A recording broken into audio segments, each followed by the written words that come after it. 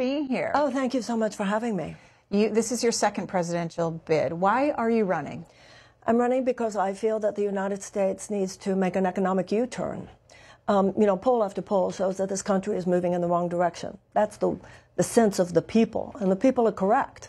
And the whole the radicalism, in a way, at the core of the American ideal is that the people direct things. And yet, right now, things are being directed not so much by the people as by corporate donors and corporate huge entities of corporate wealth that actually determine our path. So the people need to step in there and turn things around. Are you getting the people to support you financially? Well, I am. I mean, you know, I'm, I'm in there. That's what uh, a campaign is all about. You know, a campaign is a, is a big job interview. It's a long job interview. And you are presenting yourself uh, to the people, you're presenting your agenda, you're letting people know this is what I would do if I was given the job. And people think about it. Now, the problem we have right now, however, is that there are forces who seek to limit uh, the, the voices that are actually presented to the people. This is why it's so important that the Democratic Party allow debates so that voters in the Democratic primary can recognize there are three candidates so far, and uh, the American people should have as wide an array of options before them as possible. What have you heard from the Democratic Party about debates? Well, what I've heard from the Democratic Party about debates is what you and everybody else has heard, and that is that they don't plan to have any. They have simply decided that Joe Biden is the nominee. That's not democracy. A party that should be and has traditionally been such a champion of democracy itself should not be so wary of the democratic process in our own house. So, what is your strategy? Where are you, where are you right now in the country, and and how do you plan to keep stay in this race? Well, given that the party as you said, well, the, what's Joe Biden? The, the, you know, the parties are not even mentioned in the Constitution. They are not the ultimate authority here. The people are the ultimate authority here. And I'm staying in the race because I'm talking to the people. A lot of that uh, conversation with people these days, as you know, is online, TikTok, etc., uh, various uh, online uh, platforms. But also there are those early primary states: New Hampshire, Michigan, Georgia, South Carolina, Nevada. You you go out there. That's that's the American way, and that's what I'm participating in. You're popular on TikTok. Explain your strategy there. You know, it's interesting we use the word strategy, but I, look at Donald Trump when he won uh, in 2016. Did he have a strategy or did he not just hit a nerve? I think that that's my main strategy is telling truth. I, I think that I'm saying a lot of things that everybody says, but few people say them in public. Few people say them when the microphone is on. And that is that we are not at the moment functioning as a government of the people, by the people, and for the people. You know, at, at the battlefield at Gettysburg, Lincoln said that the men who died, who were soldiers for the Union, had died died on that battlefield had given he, what he called their last full measure of devotion so that a government of the people, by the people, and for the people would not perish from the earth. It is perishing now. We are, for all intents and purposes, a government of the corporations, by the corporations, and for the corporations. Our Congress is in many ways little more than a system of legalized bribery, where legislator after legislator in the final analysis, does more to answer to the goals of their corporate donors than to the people of the United States. We have the safety, the well being, the health of the American people at this point is almost secondary to the profit margins of insurance companies and pharmaceutical companies, big agricultural, chemical companies, food companies, gun manufacturers, uh, big oil and defense contractors. The people know this. We have 39% of the American people who now report that they skip meals in order to pay their rent. This is in the richest country in the world. And that number goes up to 44% among millennials. One third of Americans are living very economically unstable lives. One in four Americans are living with medical debt. We have the highest poverty rate, including the highest child poverty rate of any country in the world. We have half of our seniors living on less than $25,000 a year. We have a third of our workers living on less than $15 an hour and not having a place to live. Things are not going well. So, what would you do? Well, we have to have an economic U-turn in this country, as I said. We need to recognize that the rights that hold together a level of economic stability and the capacity of people to thrive that are granted to the citizens of every other advanced democracy should be granted to the American, such as universal health care, such as tuition free college, which we had in this country until the 1960s, such as free childcare, such as paid maternity and paternity leave, such as guaranteed sick pay and guaranteed livable wage. Those are the pillars. They should be seen as the main organs that provide people with the ability to thrive, not just survive an unjust economic system. That platform sounds like President Biden's platform. He's tried it. Democrats have tried it. Yeah. How would you be different? well, President did. I, I, I will certainly uh, admit that if we had gotten Build Back Better, that would have been amazing. But we didn't get Build Back Better. And there are still things that the president could do. For instance, the president had said that we would have a raising of that minimum wage, which we haven't had in 13 years. As I said, a third of American workers live on less. Give me a break. So the president got it for, for federal workers. But then it came time to put it in a bill. And you know what stopped it? The parliamentarian. Now, truly, Greta, would the Republican Party ever allow themselves to be stopped by the parliamentarian? We allowed ourselves to be stopped by the parliamentarian because it was convenient to do so. The president has also approved the Willow Project. The president has given more uh, has given more oil drilling permits than even Trump did. The president is a nice man. This is not about who's not a nice man. But I have serious um, uh, disagreements with the president about such fundamental things as whether or not we guarantee that this will be a habitable planet in 100 years. Marianne Williamson with us this morning. Let's get to calls. Connie in Florida, independent caller. Go ahead. Yes, uh, thanks for taking my call. Uh, Marianne, I'm a longtime student of the course and I've studied uh, for several decades now. And I want to know how your political ambitions align with the teachings of the course, i.e., of the ego. You know, I am. I think of myself as radically American, and the foundational principles, which are included in our Declaration of Independence, are deeply spiritual and deeply humanitarian. Our first principles are number one: all men are created equal. Number two, God gave all men inalienable rights of life and of liberty and the pursuit of happiness. In the book of Deuteronomy, it says, Justice, justice thou shalt pursue.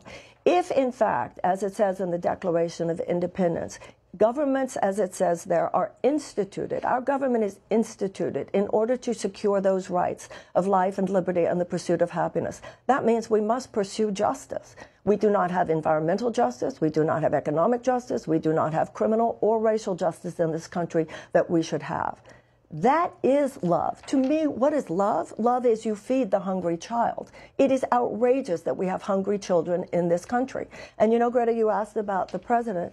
You know, the Democrats, uh, the corporate elite leadership establishment Democrats, like to brag about the fact that with a, a child tax credit, they have uh, they cut child poverty in half, which is very good. Although I would also say if you can cut it half, you could eradicate it. However, what happened there is that it expired, that tax credit expired in six months and no one got around to making it permanent. So that to me is what love is. Love is not just a word. Love is an action. That means you remove the economic shackles that so many people live under in this country. Not all chains are visible.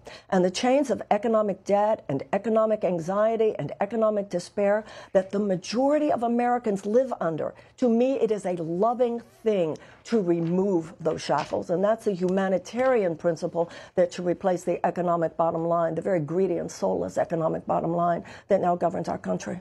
We'll go to Rob next, who's in Dutchess County, New York. Democratic caller. Good morning, Rob. Hey, hey good morning. Thank you for C-SPAN. Um, you're never going to get elected talking about love. I mean, God bless you, but um, you know I agree with you, most all your positions, but um, one cannot speak from weakness, and one cannot. That's not what voters are going to go for. One cannot speak from. Uh, uh, from uh, hoity-toity, uh, uh, abstract language. You need to talk plain talk, plain English. And unfortunately, in today's world, like a guy like Trump, he's a shock jock. He's an idiot, but he's a shock jock, and he gets everybody's attention. And he talks plain talk. So, you know, well, Rob, Rob, can I ask you what kind of plain talk do you want to hear?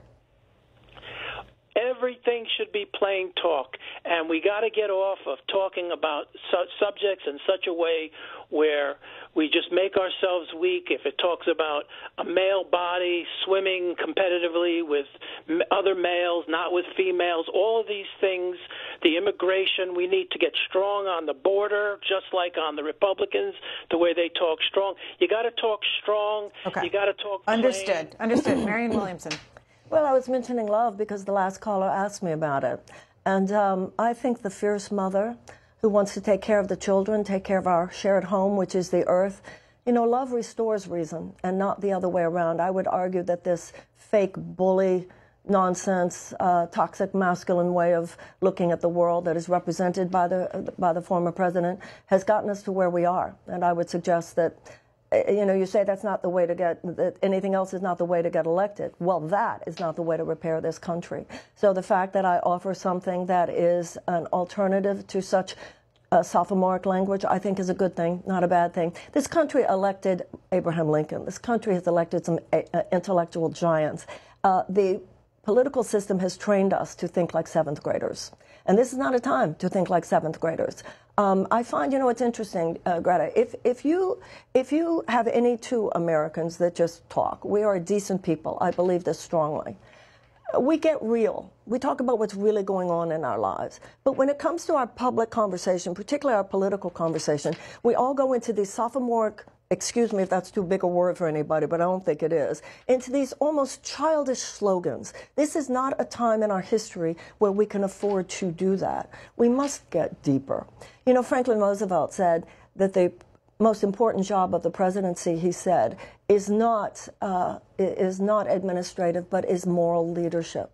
And I think people are ready for a conversation about what is true in our hearts. That is where this country is off course. We are governed by an economic system that is soulless, that puts short term profits for huge corporate entities before the health and safety and well being of our people and our planet.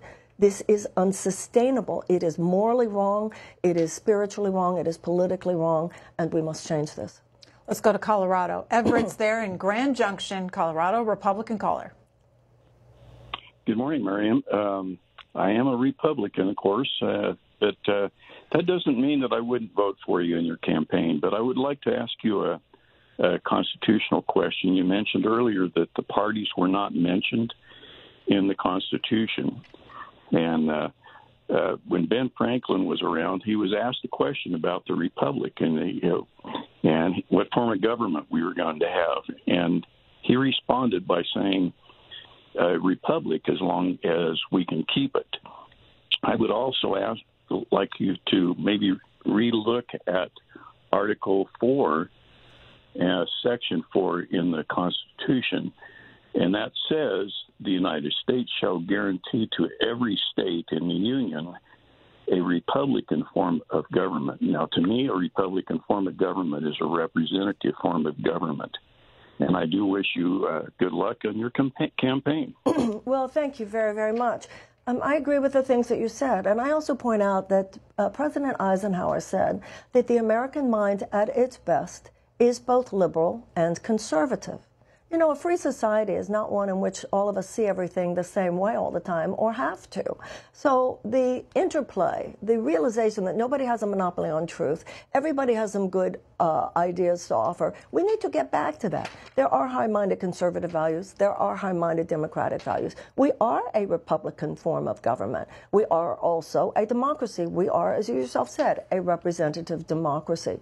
So that constant interplay between uh, federal power and state power power. Um, as uh, I think it was Hamilton who said, that the states are the laboratories of reform. That was played out, that conversation was established in the Constitution, and we're playing it out in our lives today.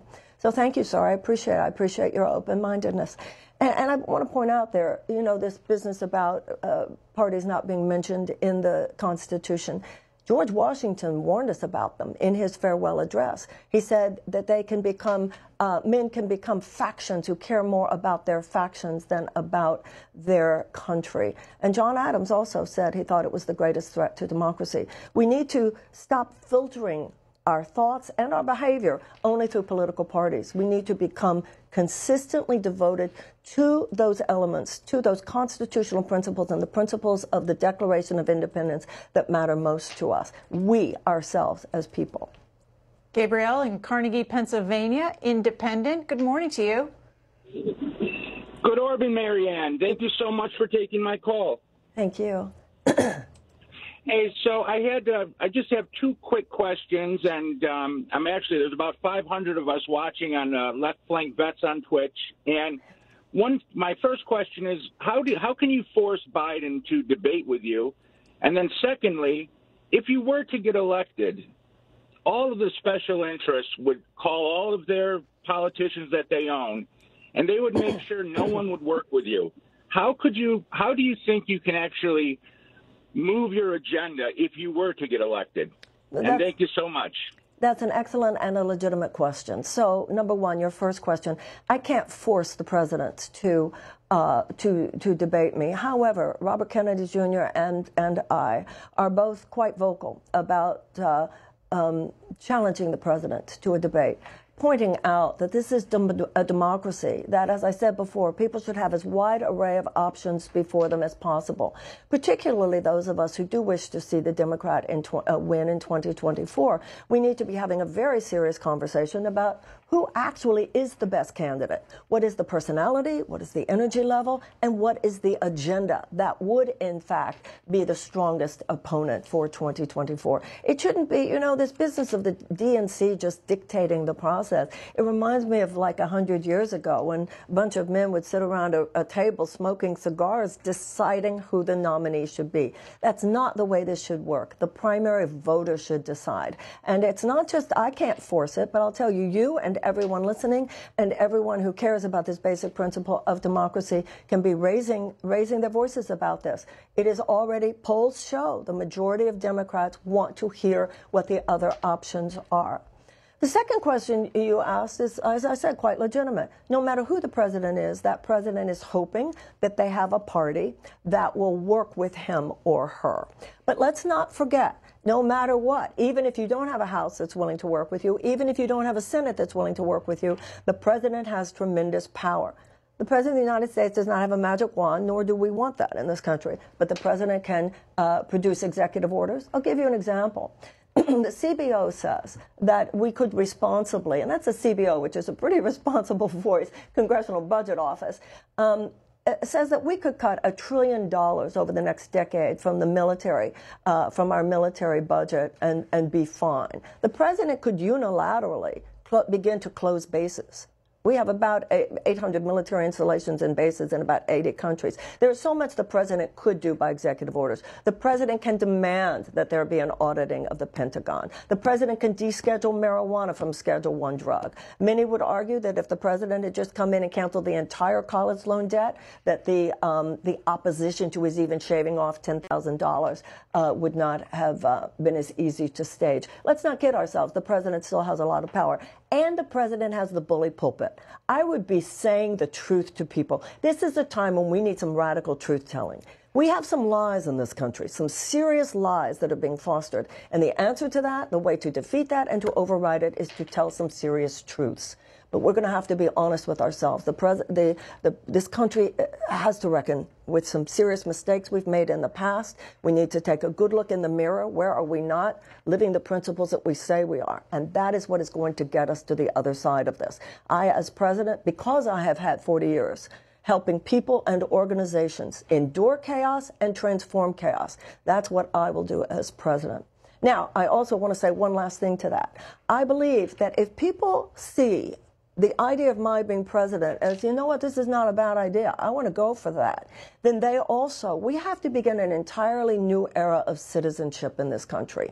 Many of us have thought, oh, you know, I'll vote every two years. I'll show up for the congressional elections. I'll show up for the, uh, for the presidential. But that's not enough because corporate lobbyists, sometimes without our best intentions at heart, are in the offices of our legislators every day. Not only that, but some of the things we need to most worry about in this country are not just forces that are active in Washington. They are active throughout the states, in every single state capital. so we need a new era of citizenship. We need people who begin to see our civic activism as simply part of a meaningful and well lived life. So that means that if people support my campaign, you need to also get involved in the congressional elections in your district, senatorial elections if they're happening that, that year, this coming election in your states, and you have to get involved on the level of primary so that I am delivered the kinds of legislators who would play ball with me, and then we'll really get a lot done and turn on, this country around. On support for your campaign and debates. Yes. In 2020, the criteria to get on the debate stage where there were two of them. Mm-hmm. One breaking 1% in three polls from pollsters approved by the DNC, or tallying 65,000 unique campaign donors with at least 200 donors in 20 different states. Would you meet those two criterias right now? Oh, in terms of the amount of vote, of donors, you know, I don't know. I'd have to make a call to my campaign manager and ask that. I actually don't know. I certainly would in terms of polls. Was a national poll that already had me at 10%. But now, of course, if they're not, you know, who knows what they would say you have to do to get into debates today. It's almost a no question at the moment because they're saying there won't be any. But hopefully the voices of the people will be loud enough. There will be enough public pressure and the DNC will give in on that.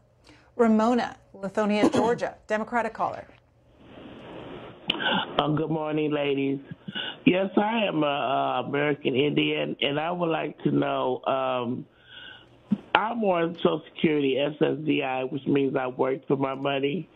Um, I hope that the Republicans do not uh, approve the debt ceiling uh, because if I lose my check because of that, I'll be so glad because then we will vote, vote them out. So, what do you feel about Social Security? Social Security must not be touched. If anything, we need to remove the cap entirely. Um, we, we, we, need to not touch Social Security. But I, am not. Do you understand, Greta, how the debt ceiling question? She's afraid that if we take it back, that she will get less in Social Security. She's afraid that under the House Republican proposal, if you tie raising the debt ceiling to federal cuts, I think federal spending cuts, taking it back to last year's level I think she's concerned about Social Security disability, the program. The, the Democrats need to hold strong there. The president had said in the last uh, last uh, State of the Union, nobody's going to touch your Social Security, um, and certainly if I'm president, nobody's going to touch your Social Security. In fact, as I said, we need to raise the cap so that everybody's paying into it. AJ, you're next. Columbus, Kansas, Independent. Hi, Marianne. I'm uh, watching uh, with 500 people on uh, twitch.tv slash Left Flank vets and i am curious about your rural plan. Um, do you support like right to repair or um, uh, uh, ending amas i'm curious about your opinion on that. Rural thank you. saying rural plans. Aj yeah, rural rural plans yeah. rural r-u-r-a-l yes okay rural America has been in many ways neglected by both parties over the last few decades. I was in a, a small town in South Carolina um, during this last campaign, and the mayor said something that impacted me and stayed with me. He said, You know, there are many people in this country, particularly young couples with children, they cannot afford to have the lives that they want on the coast I have, he said, here in my town, I have everything that they could possibly want in order to start over, in order to raise a family.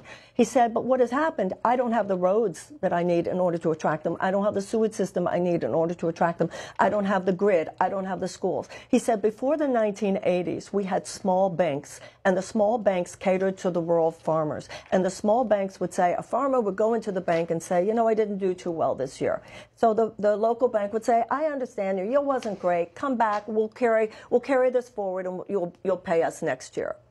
What started to happen in the 1980s was this huge monopolization and conglomeratization of everything was that many of these smaller banks were replaced by these huge banks. And the huge banks were acting in service to the huge agricultural companies. So this squeezed out. And before that, when there were these small banks and there was attention and focus on the small farmer, the, the U.S. government would not only give loans, but the loans that were given to the municipalities, to the rural municipalities, came along with grants. All that was gotten rid of in order to serve big banks and big ag. That would change when I'm president. We'll go next from to Rhonda, Freehold, New Jersey, Democratic caller. You are speaking to Marianne Williamson. Go ahead. Oh, good morning, Miss Williamson. It It is an honor to speak with you. I absolutely love you. I watch you on YouTube. And I would love to see a woman run for the highest office in the land because women have compassion and we live on budgets. What's upsetting to me the most about the Republican Party here is I wouldn't vote for a Republican and for a dog catcher. That's how much they have corrupted themselves with the Donald Trump administration. They're all crooks, in my opinion. You know, and I am terrified of where our country is headed now that they have Ron DeSantis there, who's absolutely trying to erase black history from our country. This man is crazy. He's Donald Trump on steroids. He's a copycat with no personality at all. But what I would like to say that that I love about women is that we have been reversed 50 years in this democracy with the Republican rule. And now that they have the Congress, there's no immigration reform that they're putting forward. They're still blaming Joe Biden for everything they have done to this country. Tucker Carlson's tapes came out last night on um, Albie Mel- uh, Melbourne show. You know, to think that he thinks this way about me, black people, that it's okay to kill a black boy and crush his face in. This is the Republican Party. They are fascists, and we got to stop them. We got to stop uh, these people. All right, Rhonda. Marianne Williamson. Um, I think that there are neo fascist elements there. I don't think that's the entirety of the Republican Party.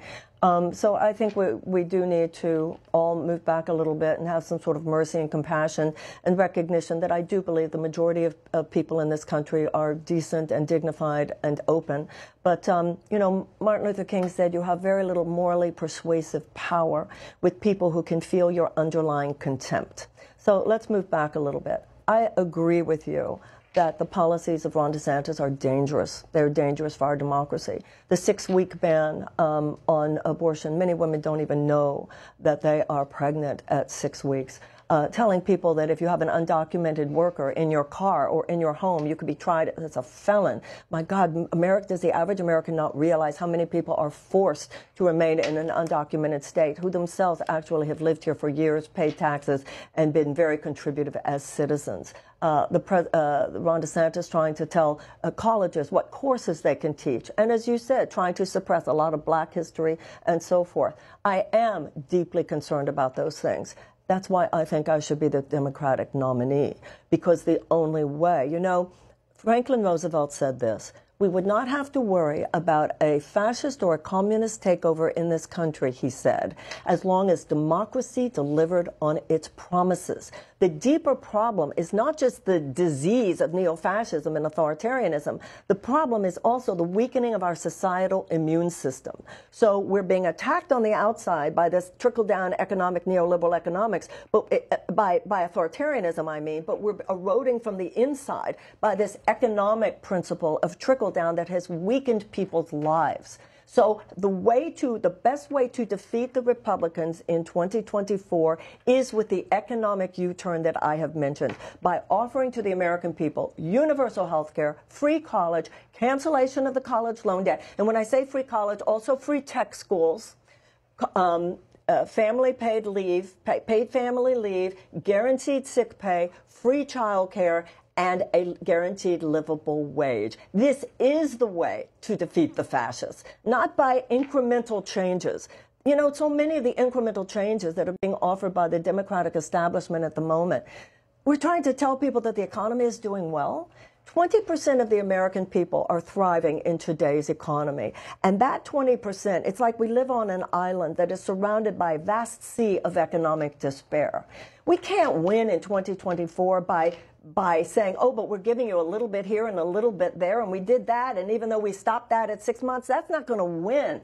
We're going to win by saying, you should, we want to do more than ameliorate your stress. We want fundamental economic reform. We want to do more than help you survive an unjust economic system. We want to end the system of injustice. And that is why I'm the candidate who is the best one to defeat the the uh, whether it's DeSantis or Trump, the people that you're most concerned about in 2024. How will you measure success as you go along? What are your milestones that you need to reach to stay in the race? Well, I am aware that what I'm saying is what's aligned with poll after poll shows that the American people agree with me. The American people in poll after poll, you know, they're a little bit left of center.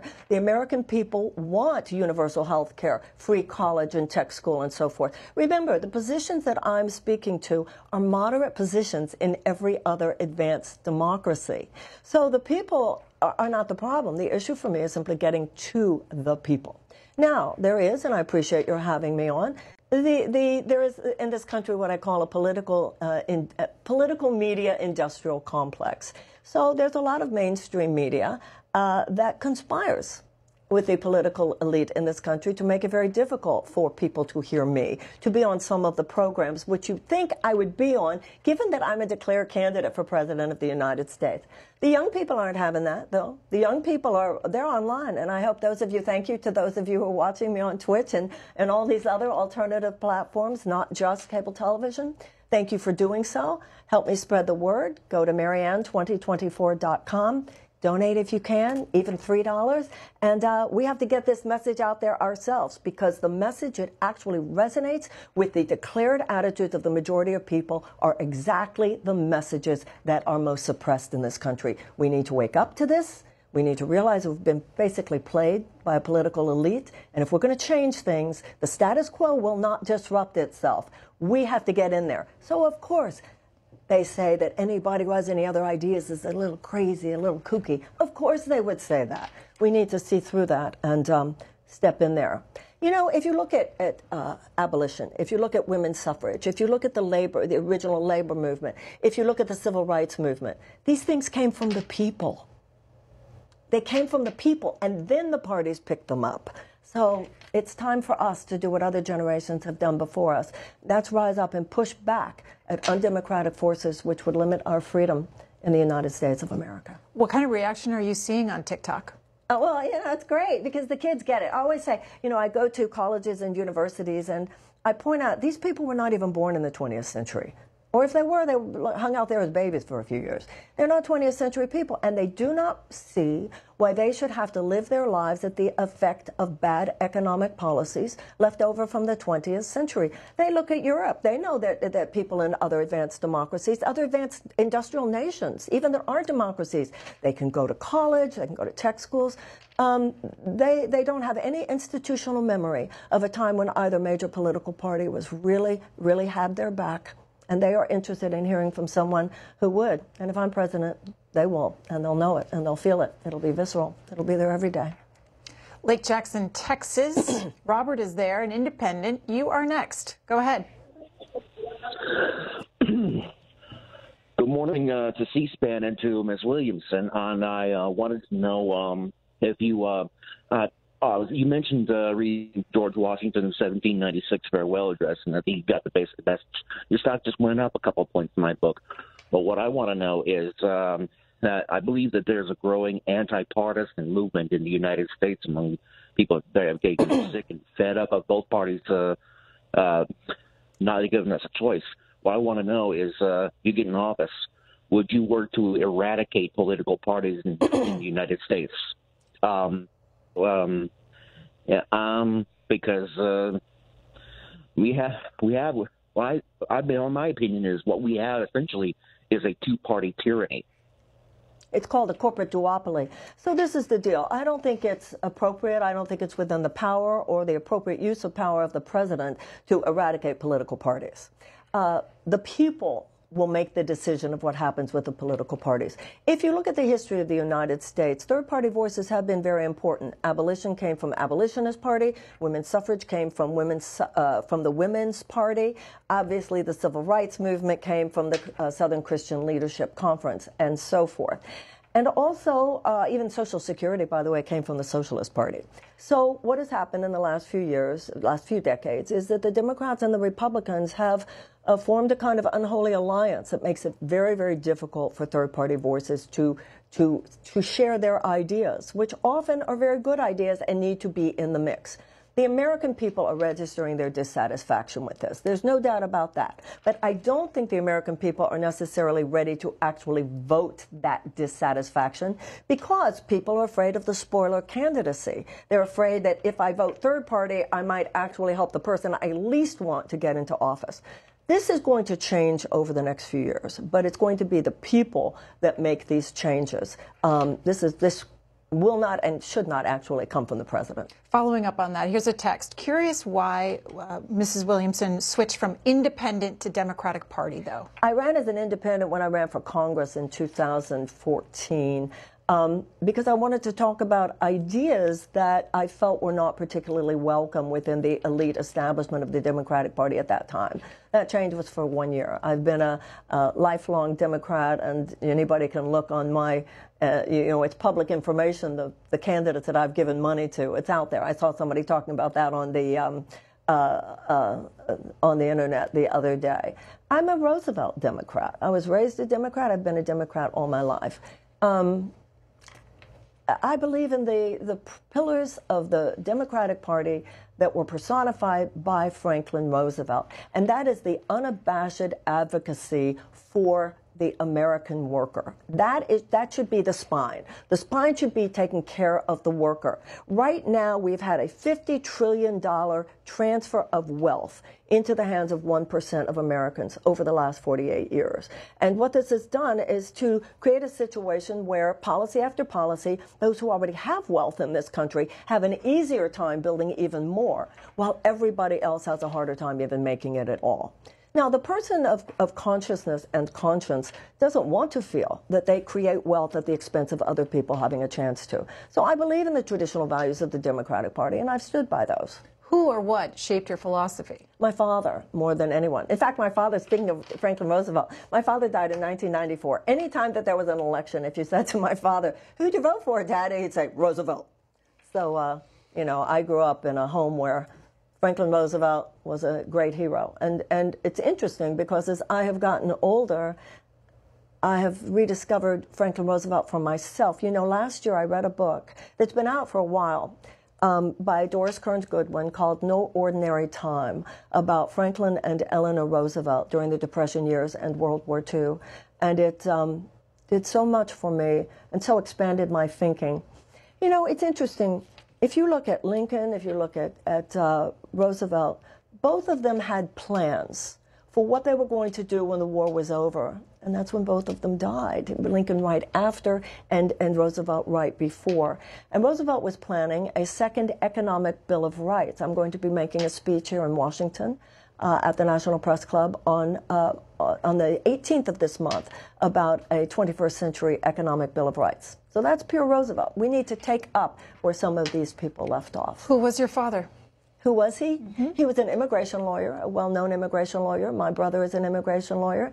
Uh, my father took us to Vietnam in 1965 because he said he wanted us to see. He said, uh, I came home from the seventh grade. Uh, and my, my teacher, my social studies teacher, had said that if we didn't fight, on the shores of Hawaii. This was during the Vietnam War. And my teacher had told us that if we didn't uh, fight on the shores of Hawaii, that uh, that we would be fighting on no if we didn't fight vietnam that we would be fighting one day on the shores of hawaii. They called that the, the domino theory. And my father stood up he said to my mother get the visas we're going to vietnam. The military industrial complex is not going to eat my children's brains. My mother said oh sam and we went. And my father wanted to make sure that we had a view of this country that was not filtered through official propaganda that does not serve us. Kathleen in Dayton, Ohio, Democratic caller. Oh, Marianne. Well, first I want to say C-SPAN and Washington Journal are national treasures, and I and then Marianne. So, Yeah, so much of what you say, I have such deep respect for, and on poverty, on child care, on pay scales, on corporate greed, on on Eleanor and Franklin Roosevelt. My parents, the same thing. Roosevelt was the hero, and my mother, even who just died a couple years ago at 93, would sit up when Senator Sanders or Senator Warren would be on the news, and they'd say, "That's that. Those guys are like the Roosevelts," and and that's the way all Democrats used to be be. But anyway, so I have such deep respect for you. On the other hand, I was at the memorial for Alicia Titus in Urbana, Ohio, with Bev, you know, Bev and John Titus. And and I, I during the question and answer period, I got up and asked you about the lack of accountability in regard to uh, the Bush administration in regard to Iraq, and you diverted you diverted my question about accountability to Bush's nice paintings. So I I, I, I, it brought up some questions for me in regard to justice and, and accountability with you, and I want to ask you in regard to foreign policy. You know, there we were, we invaded Iraq on many of us knew were were false pretenses prior to the invasion. Iraq, Syria, Libya, which we know Hillary Clinton, you know, supported as Secretary of State and as a senator. So how would you deal with foreign policy and the fact that we leave in our wake hundreds of thousands of people dead, injured, and turned into refugees? So how would you deal with foreign policy? We have to deal with the American war machine. It's in this town. It's called the Blob. I referred to it a few minutes ago uh, as originally articulated by uh, by President Eisenhower. Let's not forget, not only was he a Republican president, he had been the Supreme Allied Commander during World War II. He, when he left the presidency, warned us about what he called the military industrial complex it is alive and well. We have an $858 billion defense budget, even though, as you said, so we've left Iraq, we've left Afghanistan, and yet our defense budget has gotten larger. I think there are people on both the left and the right in this country who realize that our foreign policy in too many cases is dominated not by legitimate security concerns, as would be determined by our own military commanders so much as they are determined by the short term profit maximization goals of defense contractors such as Northrop Grumman, Boeing, Raytheon, and so forth. We should all be aware that our Secretary of Defense is a former board member at Raytheon. So, the American people, I believe in this as in so many areas, we're about to hit an inflection point. People realize the criminality of the war in Iraq. And people realize that we were lied into that war. People realize, or I hope they realize, that while I actually support our having gone into Afghanistan, the last 20 years were a spectacular failure. And all that those wars ended up doing was to kill hundreds of thousands of people and also to just fill the coffers of that military industrial complex. How would I deal with it? I would name it the way I just did. I would uh, lead a serious effort, which I believe that there are people in both parties who are willing to have a serious conversation now about cutting the military budget. And I would also establish a U.S. Department of Peace. Even Donald Rumsfeld said we need to wage peace. You can't just fight a disease, you have to cultivate health. You can't just prepare for war. You have to prepare for a world in which there will ultimately be no more war. Uh, John Kennedy said, if we don't get rid of war, war will get rid of us. Marianne Williamson, thank you for joining us this morning on the Washington Journal, for talking to our viewers. We really appreciate your time. Thank you. Thank you so much, and thank you all for having me. We're going to take you up to Capitol Hill. Joining in progress this morning, Senate Budget Committee is looking at the House GOP proposal to raise the debt ceiling along with federal spending cuts. Live coverage here on C-SPAN. Rotten choice? Do not believe it. They are causing one. Many of them